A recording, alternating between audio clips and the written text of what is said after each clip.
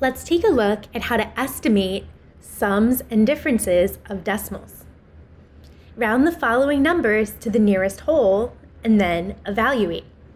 We have 6.7509 plus 8.6378, and we want to figure out what is it approximately equal to. The squiggly equal sign, when it's the squiggly one instead of an equal sign, this means approximately equal to. So we're going to use that symbol because we're rounding. Now notice they asked us round to the nearest whole. Okay, well, I don't need to look at all of these decimal places to round to the nearest whole. I only need to look at the one decimal place that's after our whole number, right? 6.7. Now, here's the rule when you're rounding to the nearest whole number, you look at the one digit after it. Well, 6 is my whole number. So the one digit after it would be the 7 that we see in the tenths place. If the number after that number is 5 or higher, right? 5, 6, 7, 8, or 9, then it's going to round up. So round up means I take that 6 and make it a 7. That's what I have here, right? Because 6.7, 7 is 5 or higher, right? It's higher than 5. So that means I'm going to round it up and my 6 is going to become a 7. Now, if this had been smaller than 5, right, if it was four, three, two, or 1 in this place, then I would have kept it as a 6, right? I would have rounded down and kept the 6. All right, so we're rounding that to the nearest whole number of 7 plus 8.6. Well, again, we use the 5 or higher. And if you think about why do we make it 5 or higher? Well, 5 is in the middle. So if it's 5 or more, right, 0.5, 0.6, 0.7, 0.8, 0.9, then it's closer to the higher number. If it's less than 5, right, 4, 3, 2, or 1, then it's closer to the smaller number. So in this case, all right, well, my whole number is 8. The digit after my whole number is that 6 that we have in the tenths place.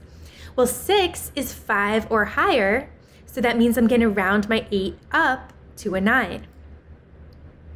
All right, well, now I have 7 plus 9. Well, 7 plus 9 gives me 16.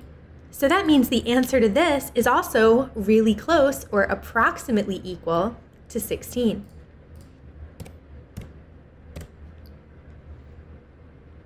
Okay, 9.0379 plus 6.5058. And again, we want to round to the nearest whole number and evaluate. Okay, so I'm only looking at this 9.0 part. Well, 0.0 means I'm going to round this down to a 9, right? That's really close to just 9. For this number, 6.5. Well, if I look at the digit after my whole number, right, my whole number is 6, the digit after that is 5, well, that's 5 or higher, so that's going to round my 6 up to become a 7. And now I'm going to add 9 plus 7 gives me 16. So the answer to this whole thing is also going to be really close or approximately equal to 16. Okay, this time we have 7.7051 plus 1.7747, and we're rounding to the nearest whole number and then evaluating. So for 7.7, my whole number is 7. The next digit after that is a 7, right? That's 5 or higher, so we're going to round it up. So my 7 is going to become an 8. I'm going to do the same thing here. My whole number is 1. The digit after that is 7. Well, that's 5 or higher, so it's going to round my 1 up to a 2. Now that they're rounded, I'm just going to add. Well, 8 plus 2 would give me 10. So the answer to the top problem is also really close or approximately equal to 10. Okay, this time we're subtracting. That doesn't change our process for rounding at all. We're going to still round to the nearest whole number the same way we did, but now we're just going to subtract instead of adding.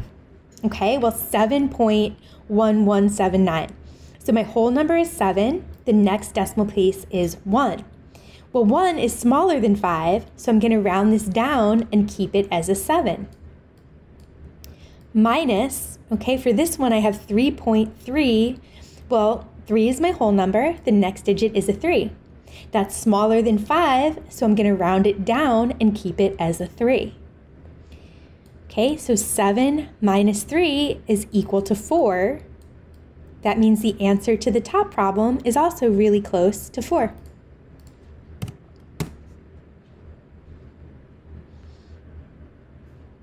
Okay, we're going to do the same thing, round the following numbers to the nearest whole, and then evaluate.